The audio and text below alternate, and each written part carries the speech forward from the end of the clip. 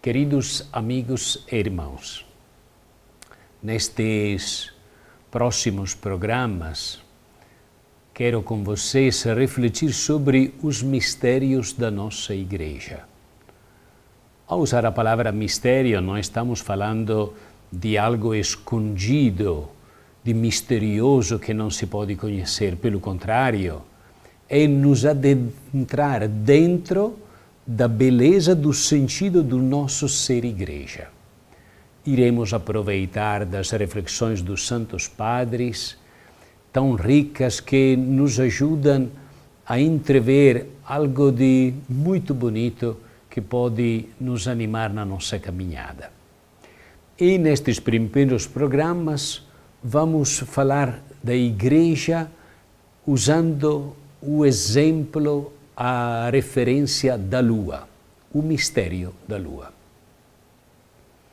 A lua tem sempre exercido um fascínio muito grande, misterioso.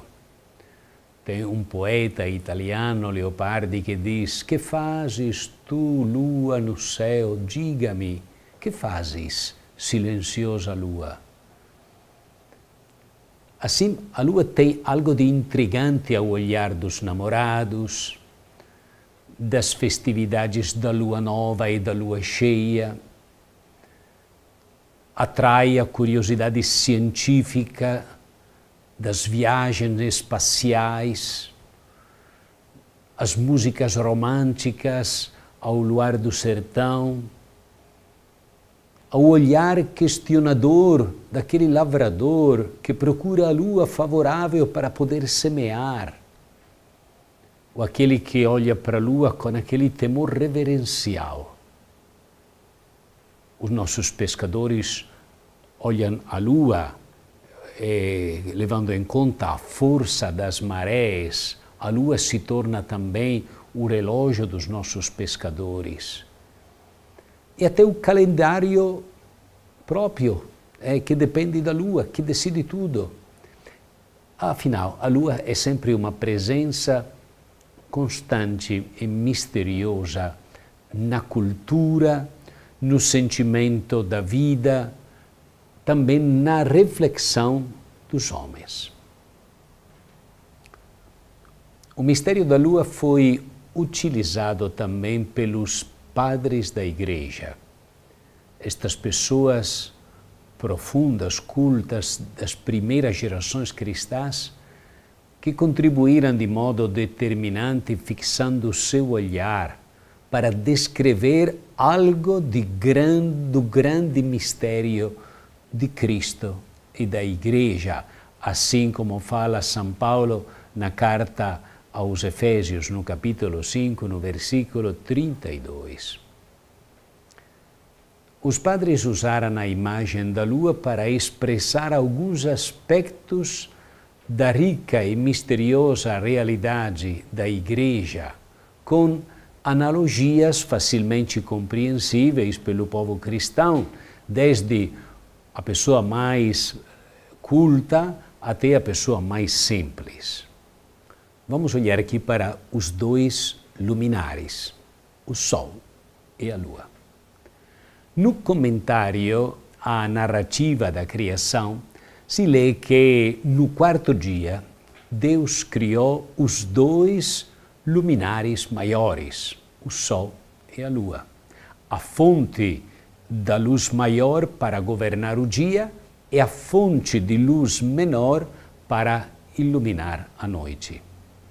Em grego, Helios, o sol, eternamente resplandecente, e Selene, com fases alternas. O sol não podia que ser imagem de Cristo vencedor. Tanto é verdade que a data da festa do Natal foi fixada de acordo com a festa do Sol Invicto quando o sol parecia recuperar forças para retomar a sua corsa no céu. A lua não podia que ser a igreja, o luminar que na noite deste mundo ilumina os passos incertos do caminhante. Se o sol brilha de luz própria, a lua brilha de luz reflexa. A sua luz não é dela, mas lhe vem do sol. Assim acontece com a luz da igreja, que não tem luz própria, mas pode iluminar enquanto recebe e reflete a luz de Cristo. Todo o valor da igreja consiste em refletir a luz da palavra e da presença de Cristo. Quando os primeiros homens colocaram os pés na lua, encontraram um amontoado de pedras, um espetáculo pouco atraente, pedras, poeira, que, ao dizer de alguns, teria tirado muito o fascínio da lua. Na verdade, este fascínio misterioso continua. A igreja pode ser, em certos momentos, pouco atraente. Pode dar a impressão de um amontoado de pedra, um espetáculo decepcionante. Mas tem o valor único e insubstituível de dizer e de oferecer Cristo, a sua luz, o seu esplendor. Ela não tem beleza nem esplendor que provenha dela mesma, mas toda a sua beleza vem de Cristo, que a escolheu para manter viva a sua memória, a sua presença, a sua luz neste caminho incerto do mistério da vida. Que seria de Cristo se a sua memória ficasse fechada somente nos livros? Seria lembrado como uma das pessoas ilustres do passado, mas a sua luz não teria ficado constantemente presente às diversas gerações como aquela que vem do vivente. E o que seria de nós? A Igreja pode oferecer panoramas humanos decepcionantes às vezes, mas ela reflete sempre uma luz que não é própria, uma luz que ninguém pode dar porque vem do sol da justiça. Quando o Senhor disse: Vós sois a luz do mundo, no discurso eh, da montanha, queria garantir a possibilidade de iluminar as gerações futuras durante a sua ausência, mas somente na medida em que os discípulos estivessem refletindo a sua luz. A igreja não tem luz própria. Se quisesse tê-la, se apagaria, porque todo o seu valor depende de estar em relação com o Cristo Senhor, o sol que ilumina todo homem que vem a este mundo.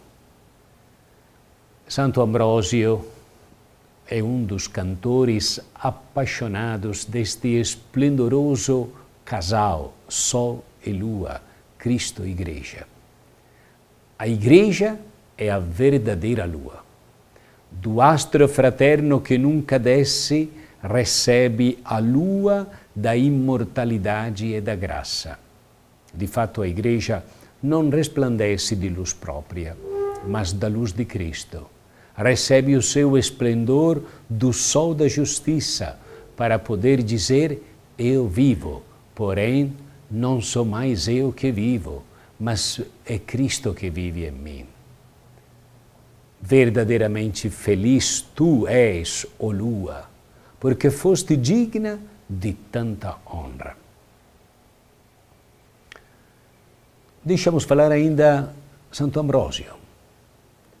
Não é pouca coisa a luz.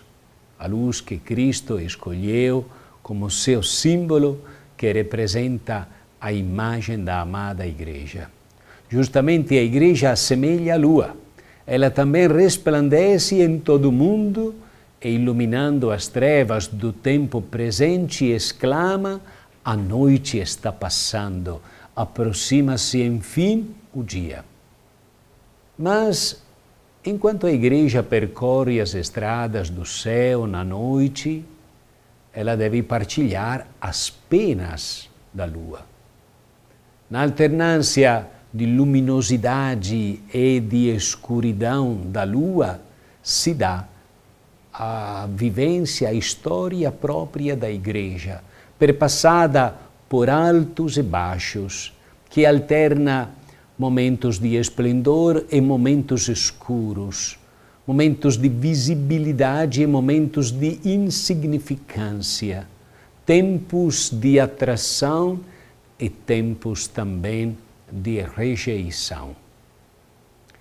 Nós temos consciência, como nós, igreja, tantas vezes, não estamos transmitindo a luz de Cristo.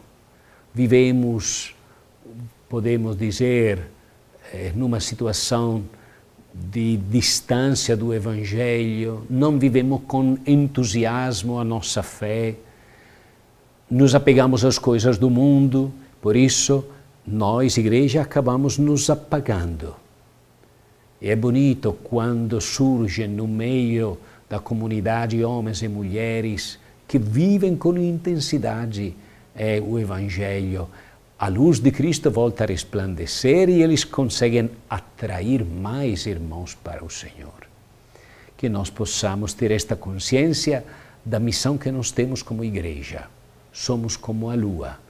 Temos que nos deixar iluminar pelo sol que é o Cristo e fazer resplandecer a luz dele diante dos irmãos. Que Deus abençoe a todos em nome do Pai, e do Filho e do Espírito Santo. Amém.